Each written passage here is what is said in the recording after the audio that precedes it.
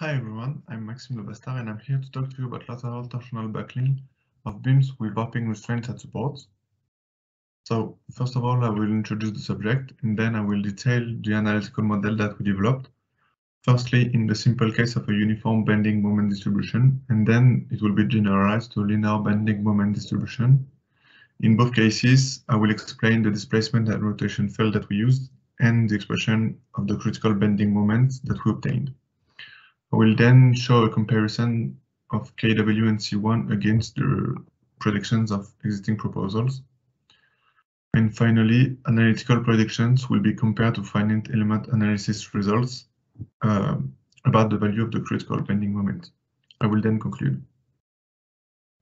So elastic lateral torsional buckling is generally investigated considering fork supports at both ends, which means uh, free warping. So we are here to investigate about the influence of warping restraints on the elastic critical bending moment of a doubly symmetric A or H beam. Um, so in the common case, the critical bending moment can be evaluated using this expression if the bending moment distribution is linear uh, so there are two parameters, C1 and KW, which are the equivalent uniform moment factor and the warping coefficient that both depend on the stiffness of the warping restraint that we will see later. So Lindner and Gietzelt proposed an expression for the warping coefficient here depending on the stiffness of the warping restraints, of course. For instance, for planes, we have this expression of the stiffness of the warping restraints. This expression is, is also found in ECCS. Um, besides, Pi and Trahair proposed another expression for, for KW. Piotrowski and Szychowski developed uh, an analytical model and proposed an expression for the critical bending moment, which have a formalism different from uh, that the formula I uh, showed before. But by identification, we can see the warping coefficient here, and the, we can determine the value of the equivalent uniform moment factor, uh, which is shown in the table here. Uh, we can see an increase between the case of free warping, which is the second line, and fixed warping, which is the bottom line. Uh, we can see that the increase is between 10 to 20 percent. so we developed an analytical model for which we chose the expression of the torsional rotation for restraint warping that is given here.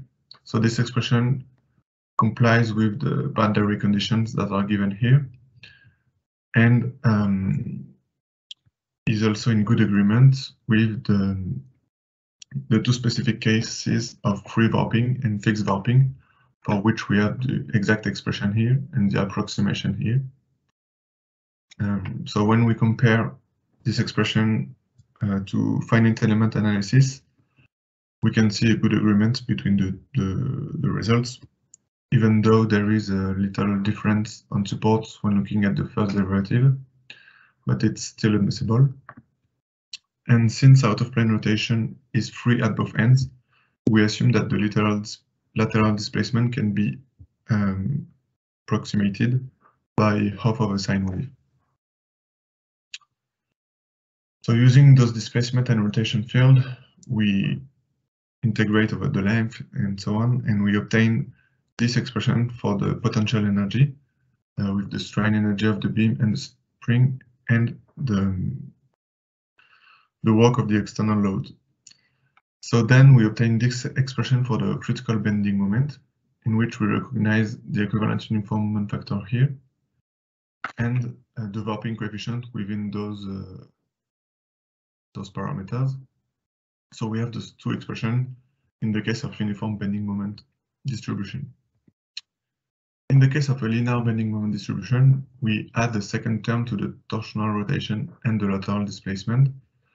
Uh, so for the torsional rotation, we had we had the second term, which has more half sine waves, but that complies with the boundary conditions and tends to to the expression for free warping and fixed warping in both cases. And regarding the lateral displacement, we use a second term that corresponds to a whole, a whole sine wave. So using these expressions, we again determine the potential energy that we minimize.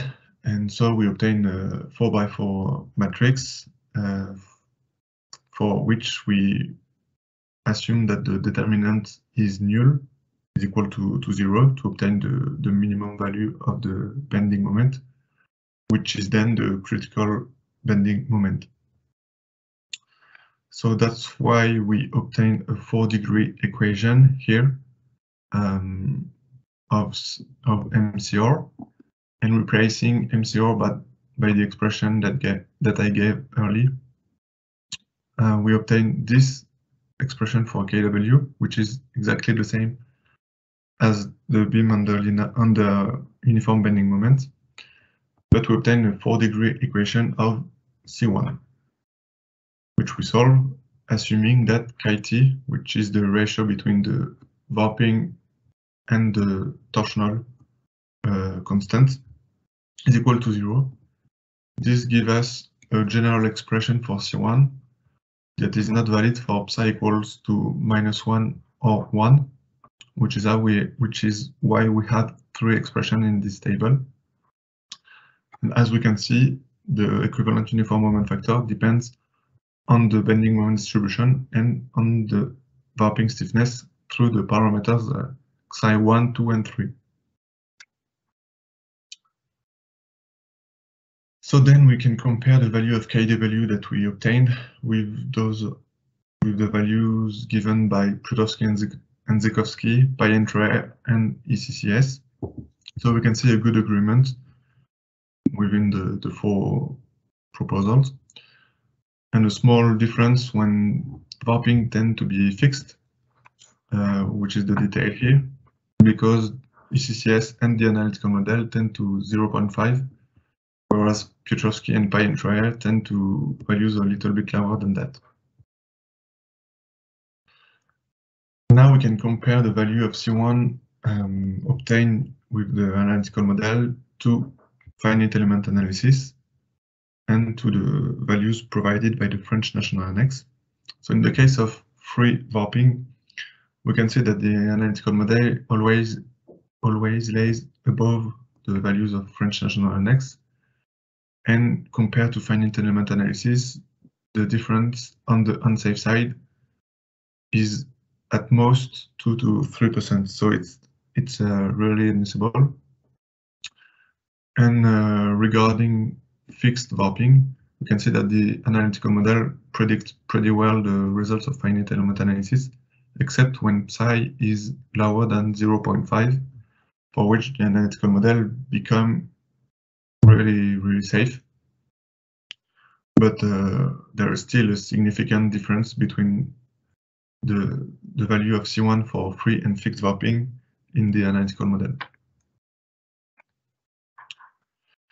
So using the global analytical model, uh, we can determine the value of the critical bending moment that is calculated divided by uh, its value for free warping in the cases of uniform moment uniform moment distribution and triangular uh, moment distribution and for psi equals to minus one uh, we can see also the results of finite element analysis and the predictions that we obtain using Piotrowski and Szychowski's model. So for psi equals to 1 and 0, we can say that the analytical model is in good agreement with finite element analysis. And when warping is fully restrained, um, the analytical model slightly lays on the safe side. For psi equals to minus 1, the difference is a little bit bigger with the finite element analysis, but always on the safe side. Uh, well, the difference is about uh, 10 to 15%. And uh, in more general view, we can see that the critical bending moment can be more than twice its value when warping is assumed as fixed compared when compared to when its value is assumed as free at both ends. So it's really significant. So to end this presentation, I will conclude and say that warping restraints have an influence when determining the critical bending moment on the equivalent uniform moment factor and on the warping coefficient Kw. Uh, we have seen uh, just before that warping restraint can increase the critical bending moment by a factor greater than 2, so it's really significant and it should be considered. And the predictions of the analytical model are in good agreement with those of finite element analysis. Five future developments are concerning um, other distribution of the bending moment and the definition of a criterion to consider warping as fixed as are both ends.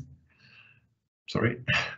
And um, we may study the warping stiffness of some connection configurations. So that's it for the presentation. I'm really thank you for your attention. And if you have any question remarks or remarks, don't hesitate.